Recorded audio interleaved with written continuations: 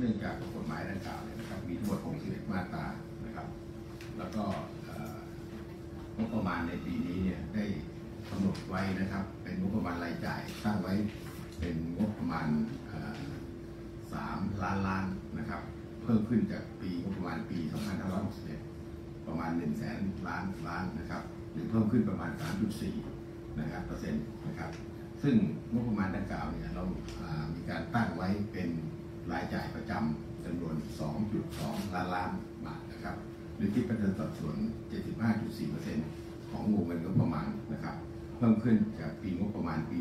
2561เนี่ยประมาณ 1 0 0 0 0แสนล้านล้านนะครับหรือเพิ่มขึ้นประมาณ 5.0%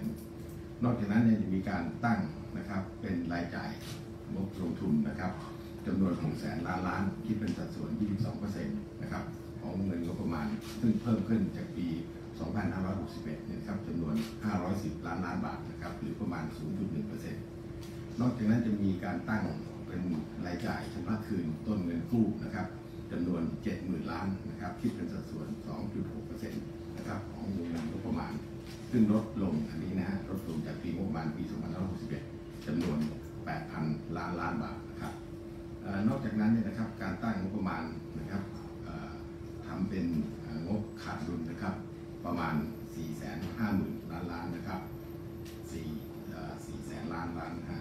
ในขณะเดียวกันเนี่ยนะครับ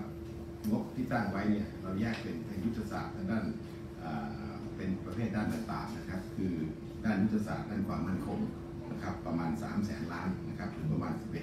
11.9%นะครับอันที่สองก็แยกเป็นยุทธศาสตร์ยุทธศาสตร์ด้านการสร้างความสามารถในการแข่งขันของประเทศประมาณ 4 0 0แสนล้านล้านนะครับหรือ 13.5%มียุทธศาสตร์ในด้านการพัฒนาและเสริมสร้างศักยภาพของคนนะครับประมาณ 5 0 0แสนล้านล้านหรือประมาณ 18.7%แล้วก็แยกเป็นยุทธศาสตร์ด้านการแก้ไขปัญหาความยากจนและความเหลื่อมล้ำและสร้างความการเติบโตจากภายใน3แสนล้านนะครับหรือประมาณ 13.3%นะฮะมีเป็นยุทธศาสตร์ด้านการจัดการน้ำและสร้างการเติบโตคุณภาพชีวิตที่เป็นมิตรกับสิ่งแวดล้อม อย่างยั่งยืนนะครับประมาณ1แสนล้านนะครับหรือ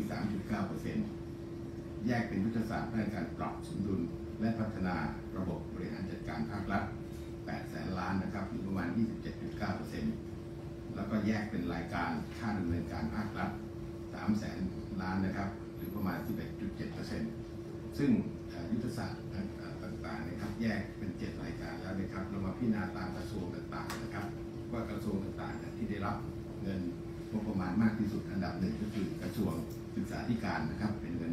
4แสนแปดหมื่นล้านล้านบาทนะครับลดลงจากปีงบประมาณปีที่แล้วเนี่ยประมาณ 3.8%ลำดับที่สองนะครับก็คืองบกลาง นะครับก็คือ 4 6 0 0 0 0 ล้านล้านบาทนะครับเพิ่มขึ้นจากปีงบประมาณปี 61 นะครับปีปีที่แล้วประมาณ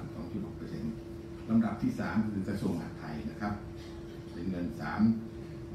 3 7 0 0 0 ล้านล้านนะครับเพิ่มขึ้นจากปีที่แล้วเนี่ยประมาณ 5.4%